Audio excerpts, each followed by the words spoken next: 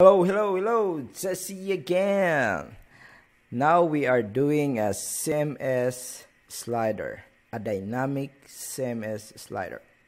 Okay, so using attributes, we are using the Finsweet, yeah, Finsweet slider, CMS slider.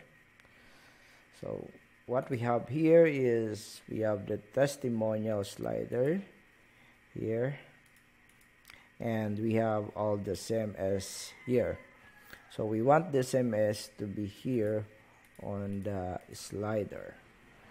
Okay so first we need to copy this put it on the uh, head tags of that page. So go to home page and put it to the head tag and paste it and save it. Okay now what we need to do is get this instruction from collection list from collection list. Okay collection list this one. So a lot of people may be confused about this one. Okay this collection list and collection list wrapper. Okay. So just check the icon. Is collection list the icon like that.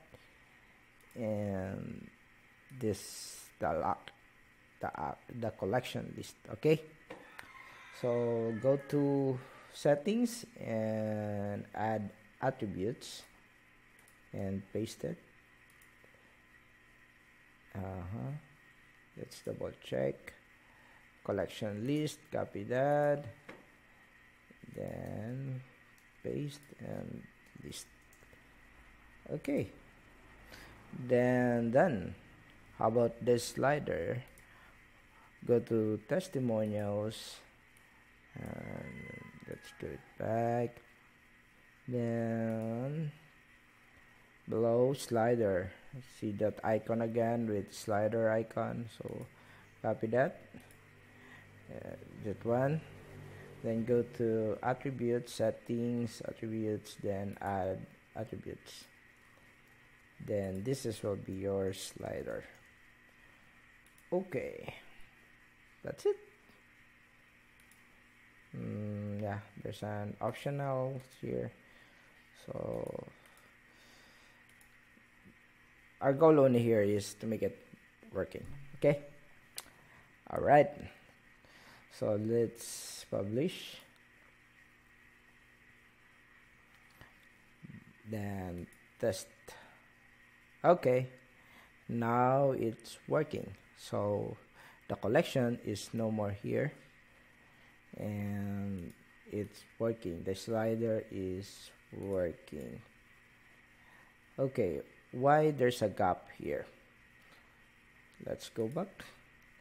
Because our collection list the layout is 2 so we go to the collection list wrapper and make it uh, 1 1 only.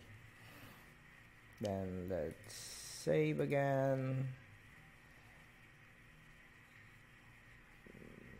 then refresh. Boom. See? Okay. Let's explain this. Where do you style this? Here or here? So if we style this one let's say we want this bigger font sizes uh, uh, it affects here because it's the same. We are using the same uh, for uh, purpose of you know what uh, purpose of test style. Yeah for the purpose of explaining this. So let's try this uh, 2 rem so it's different right? It's different.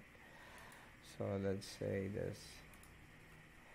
This is the style.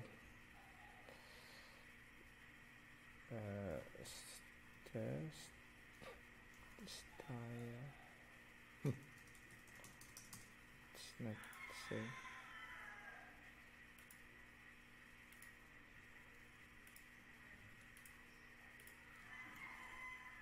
okay. Now let's say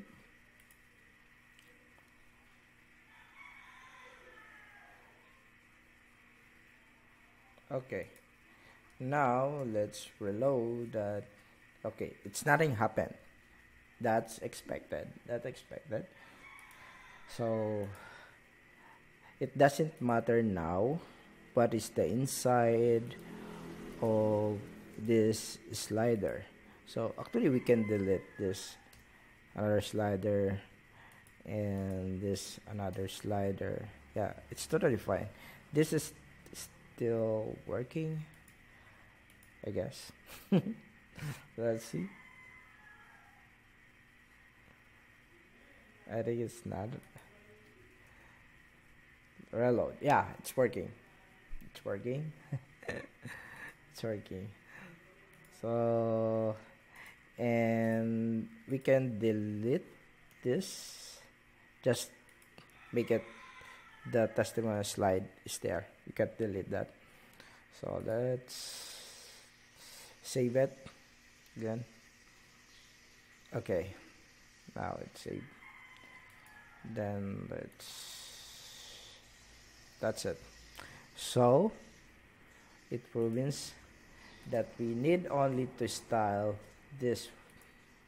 Let's say we want this 1.2 rem well, make it more bigger so that we can see that if that's change let's say uh, boom.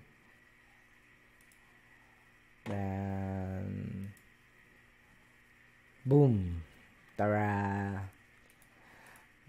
it's working. Okay let's explain.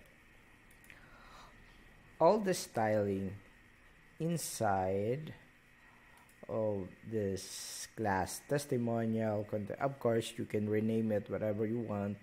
So inside all of that you can style it. That affects the slides?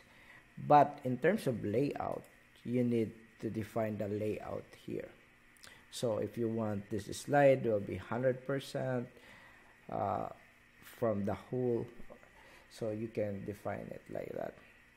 And maybe you want it three columns. Yes columns or rows? Yeah columns. Three columns. So it depends to you. So layout will be here on the slider but the styling inside of the slides is here. Okay so perfectly working I go here. Okay. That's CMS slider. Dynamic CMS slider. Thank you. Bye bye